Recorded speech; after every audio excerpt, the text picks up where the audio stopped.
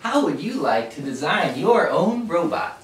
I hear what you're saying. Sounds great, but all the math, all the work. And I can't possibly understand all these systems.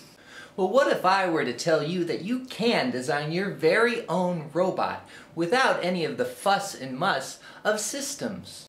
I can hear you say that that would be great, and now you can with Kriegbot. With Kriegbot, all you need is some templates and some cards and none of the engineering. It's too easy. First, you gather a couple of friends, divide into teams, and distribute templates randomly between those teams. Then you take some cards and decide where they're going to go. It's easy. All you do is you take the card of a particular shape and you match it up to a shape on your template. It's that easy. Talk about it with your friend. Make choices. It's like a customizable card game you do together before each and every game. And when you're done constructing your very own robot, you're going to get to put it to the test together. So where do we test our new creations that we just created with our friend? Well, on the ultimate testing field, the field of battle.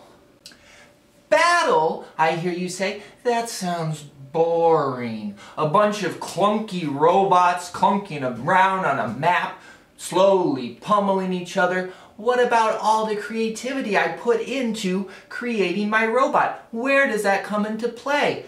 Ah, well, it's not boring because your robot is unique. Sure, there you could come up with use the same robot multiple times, but that's likely not going to happen because there's so many cards and so many different spots you can put those cards into on your template. And so you have these different cards and when you reveal them, they have different effects on the other robot. But that sounds complicated. How am I going to know what effect my card has on the other robot? Well, when one of their cards interacts with one of your cards, they can then reveal their card and it says on the card how that reaction interaction occurs. Well, maybe it's not all on the cards. There are a few rules you're going to need to know in order to play Kriegbot. But you're not going to need a whole engineering textbook. You're just going to need a few pages of rules and off you go. I hear what you're saying. Once the cards are revealed and we know the rules, you can just kind of determine what's going to happen. So what's the point in even playing out the rest of your robot's excursion onto the field of battle? Well, Kriegbot uses randomizers in the form of dice in order to change what happens during each interaction between two given bots.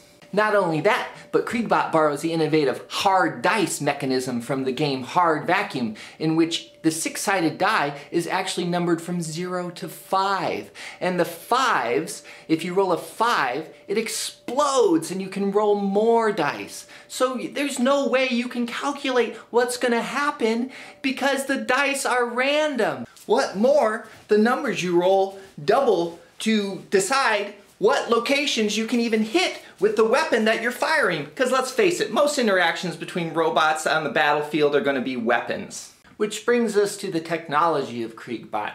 All of the different technology that the game represents actually has some sort of real world corollary or feasibility. It is a comfort to you to know that the robot that you could construct in this game could actually exist in this world. So if you like designing robots, but don't have the time, the money, or the inclination to actually go through all the effort to design and create your actual robot, you will love Kriegbot.